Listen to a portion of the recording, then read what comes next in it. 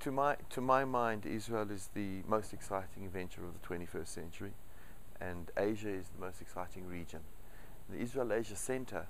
is building a bridge between these two, this exciting venture and, and, and this exciting region, which to my mind is the most important thing to do right now. The, the program, the Israel Asia Leaders Fellowship, which, which is uh, bringing such high quality people uh, to spend time here, to get to know Israel, to understand Israel, and then go back home, whether it's China or India or, or many other countries in Asia, uh, and over time take on leadership positions uh, in the economy, in, in the public sector, and elsewhere, uh, I, I, think is, is nurturing uh, an understanding and a friendship between the, the, the, two of us, Israel on the one hand and, and, and the great region of Asia on the other, which, which is going to be of mutual benefit, uh, of significant mutual benefit in the years to come.